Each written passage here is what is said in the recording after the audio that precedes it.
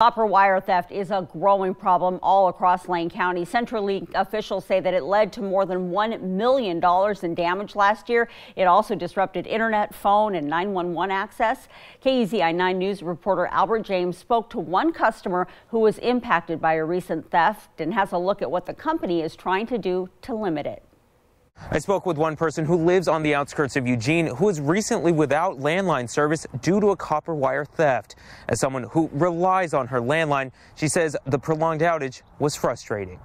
It's frustrating. We're, we're disrupted because somebody wants to, to steal copper and get $20. CenturyLink customer Julie relies on her landline phone as cell service is spotty where she lives. She says just before January's ice storm, someone stole copper wire from a service box and knocked out her phone.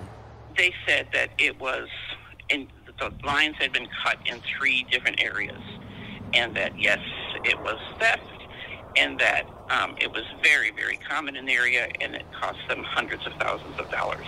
She had no service for nearly six weeks with a temporary fix that only lasted a few days. When crews were finally able to make repairs, a technician said something that caught Julie's attention. He said, This is temporary. Um, and I said, What does that mean? He goes, They're going to cut it again. It's a big problem in, in the area. Certainly, it could happen again. You know, it's like I say, it's happening on a regular basis. We're doing everything that we can to, to stem the tide of this.